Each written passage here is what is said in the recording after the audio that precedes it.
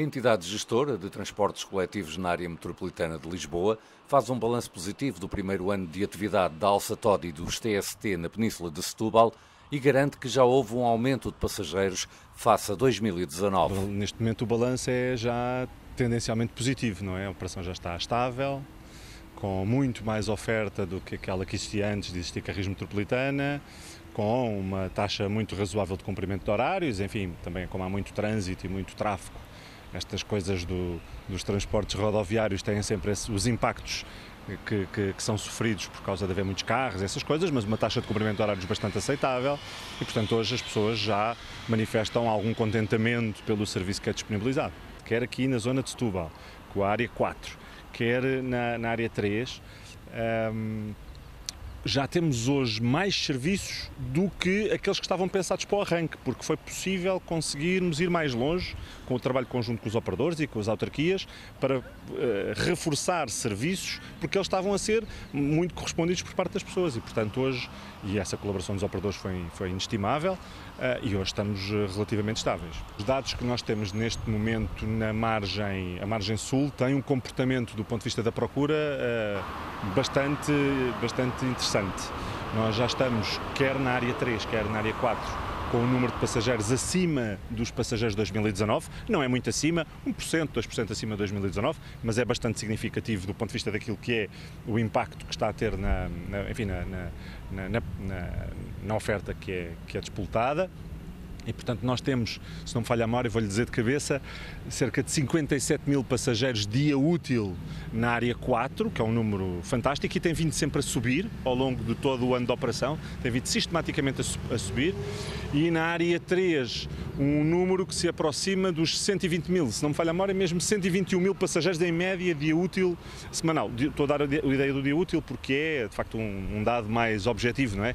Portanto, nós Passámos um período de instabilidade, este semestre já foi um semestre mais estável, nós tivemos um maio que foi um mês sem feriados, ou praticamente sem feriados, portanto os dias úteis muito sem pontes, sem, sem, sem eventos que afastem as pessoas das suas deslocações cotidianas. Uh, e, e, o maio já foi muito bom. E nós esperamos que a partir de setembro, setembro, outubro, volte a ser um, voltem a ser meses de grande procura na carris metropolitana, nos transportes em geral, mas na carris metropolitana em particular. Balanço positivo do primeiro ano da Carris Metropolitana na Península de Setúbal por parte da TML, mas os passageiros ainda apontam falhas no cumprimento de horários e na falta de desdobramentos. Desde que começou, ao início era um bocado confuso, até porque nós não sabíamos os horários. Teve um bocado de complicação, mas também porque era para mudar. Desde aí existem muito mais autocarros, muita mais variedade de autocarros, muito mais percursos. Os horários estão super acessíveis a todas as horas. Tem sempre autocarros a passar e muitas mais, muito mais frequentemente. Eu, por acaso, gosto, eu trabalho todos os dias e apanho sempre o mesmo autocarro. Tem sempre disponível. Ao fim de semana que é um bocado mais complicado tivemos alguma complicação porque principalmente a minha zona apanha ali a parte da universidade e das escolas e este ano houve algumas complicações nesse sentido porque os autocarros iam muito cheios e as pessoas que iam para o trabalho ficavam muitas vezes nas paragens devido a essa, situação. Mas agora, agora em tempo de férias nota-se uma grande melhoria. A gente agora estamos na expectativa, é em setembro. Como é que vai acontecer novamente em setembro? Não tem melhorado, só piorado. O que é que sente concretamente?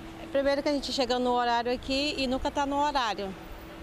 Né? A gente chega aqui para pegar o de 10 e, 10 e 1, ele nunca chega no horário. E às vezes quando chega, está cheio, a gente tem que ficar esperando. Que autocarros é que costumam utilizar? É o 4725. Mas qual é o percurso que fazem normalmente? A Lisboa. Para Lisboa? Para Lisboa. E sente que andam muitas vezes atrasados, é? Sim, sim, sim. Muitas vezes. Ontem foi um do dia, que estava lotado a gente tem que ficar esperando. Olha, às vezes demora um pouco e temos que aguardar, né? Não temos outra opção. E é isso que acontece. É complicado. Às vezes ficamos até.